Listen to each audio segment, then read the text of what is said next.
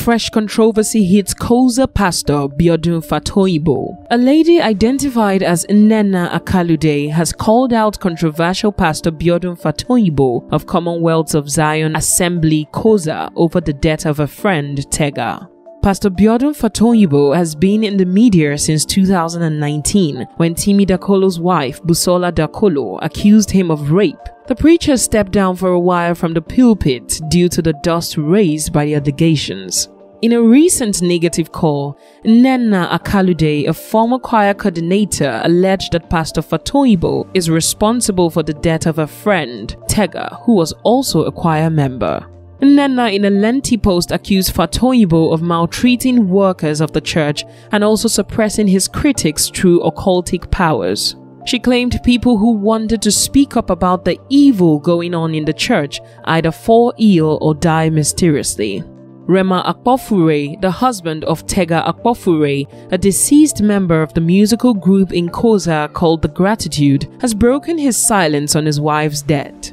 Reacting to the allegation, the Rhema Akpofure warned anyone having issues with the COZA pastor and others to take out the name Tega. In a video, he said, My wife was a beautiful soul, an amazing person, and our pastors were good to her and to me. Yes, she was a member of the Gratitude and she served in COZA, Abuja. My wife had no plans of leaving COZA. In fact, I just relocated to Abuja to join her.